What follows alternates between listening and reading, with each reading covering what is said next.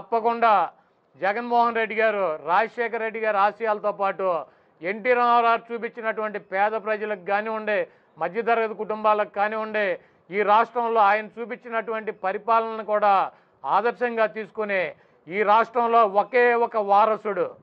ఎన్టీఆర్ కావచ్చు వైఎస్ రాజశేఖర రెడ్డి గారు కావచ్చు డాక్టర్ బిఆర్ అంబేద్కర్ గారు కావచ్చు మహాత్మా పూలే కావచ్చు మహాత్మా గాంధీ కావచ్చు బాబు జగజ్జీవన్ రావు కావచ్చు వంగవేటి మోహన్ రంగా గారు కావచ్చు ఈ రాష్ట్రంలో ప్రజల కోసం కష్టపడి ప్రజల కోసం పాటుపడినటువంటి ప్రతి నాయకుడిని కూడా ఆదర్శంగా తీసుకుని ఈ రాష్ట్రంలో జగన్మోహన్ రెడ్డి గారి పరిపాలన ప్రజల ముందుకు తీసుకువెళ్ళాలని చెప్పి మరి ఈరోజు జిల్లాలో పునర్వ్యవస్థీకరణ పదమూడు జిల్లాలను ఇరవై ఆరు జిల్లాలుగా తీసుకొచ్చినటువంటి పరిస్థితి. అదేవిధంగా పదిహేను డివిజనల్ని పెంచడం జరిగింది. అయ్యే కాకుండా గ్రామ సచివాలయాలు దాదాపు పదివేల పైన గ్రామ సచివాలయాలు తీసుకొచ్చి పరిపాలనే గ్రామాల్లోకి తీసుకొచ్చినటువంటి పరిస్థితి. పదకొండు వేల పైన ఆర్బీకే సెంటర్లు తీసుకొచ్చి రైతాంగానికి మరి గతంలో చూసాం విత్తనాలు దొరక్క మండల హెడ్ క్వార్టర్లకో జిల్లా హెడ్ క్వార్టర్కి వెళ్ళి రైతులు పడిగాపులు పడి సొమ్మసిల్లి పడిపోయినటువంటి పరిస్థితి ఉంది. ఈ రెండున్నర సంవత్సరాల్లో ఏ రైతన్నా విత్తనాలు దొరకలేదనో నకిలీ విత్తనాలు కొనుక్కుని మేము పంట నష్టపోయామని చెప్పో. మాకు గిట్టుబాటు ధర దొరకట్లేదని చెప్పి ఏ రకమైనటువంటి కార్యక్రమాన్న రైతులు ఆందోళన చేస్తున్నారు గుండె మీద చేసుకుని ప్రతిపక్షాలు కానీ ఈ రాష్ట్ర ప్రజలు కానీ ఆలోచించాలి. ఇప్పుడు, ఏదైనా సరే ప్రభుత్వం నుంచి రావాల్సినటువంటి సహాయం అందించమని చెప్పి గ్రామ సచివాలయంలో అప్లికేషన్ పెడితే డెబ్బై రెండు గంటల్లో మరి దాన్ని పరిశీలి చేసి ఇంటికే తీసుకెళ్ళి వాలంటీర్ అందించేటువంటి పరిస్థితి తీసుకొచ్చారు. గ్రామ స్వరాజ్యం అంటే ఇదే. గ్రామాల్లో సచివాలయాలు ఏర్పాటు చేయటం గ్రామాల్లో ఆర్బీకే సెంటర్లు రైతు భరోసా కేంద్రాలు ఏర్పాటు చేయటం అవసరమైతే పరిపాలనకు అనుగుగా డివిజన్లు పెంచుకోవటం అదేవిధంగా ఆ పరిపాలనకు కావాల్సినటువంటి జిల్లాలను కూడా చిన్న జిల్లాలను చేసి యంత్రాంగాన్ని ప్రజల ముందుకు తీసుకురావాలన్నటువంటి తపనతో జగన్మోహన్ రెడ్డి గారు పనిచేస్తుంటే ఏ పనికి మాలినటువంటి ఆరోపణలు పనికి మాలినటువంటి మాటలో మాట్లాడుకుంటా తెలుగుదేశం పార్టీ చంద్రబాబు నాయుడు చేతుల్లో రాజకీయ సమాధి చేసి ఆ పార్టీని తెలంగాణలో చేసే రాజకీయ సమాధి. ఇక్కడ కూడా రాజకీయ సమాధి చేసి రాబోయే రోజుల్లో ఎన్టీ రామారావు స్థాపించినటువంటి తెలుగుదేశం ఎన్టీ రామారావుతోనే అంతమైపోయేటువంటి పరిస్థితి చంద్రబాబు నాయుడు తీసుకొచ్చాడు. ఇప్పటికైనా ప్రతిపక్షంగా అంత వయసు వచ్చింది నలభై సంవత్సరాల అనుభవం ఉంది.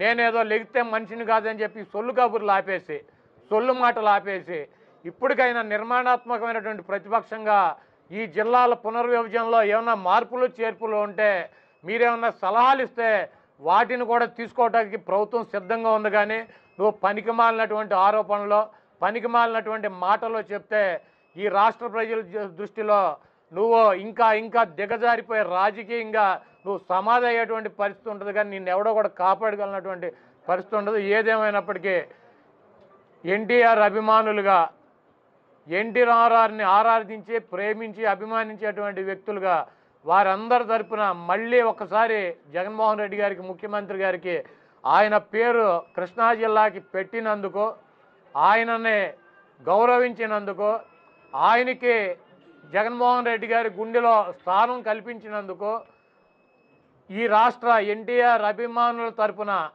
ఈ యావత్ ఈ ప్రపంచంలో ఉన్నటువంటి ఎన్టీఆర్ అభిమానుల తరపున నేనైతే జగన్మోహన్ రెడ్డి గారికి పాదాభివందనాలు చేస్తున్నా.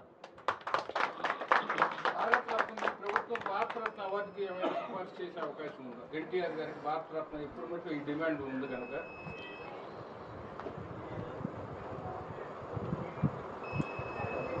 చంద్రబాబు నాయుడు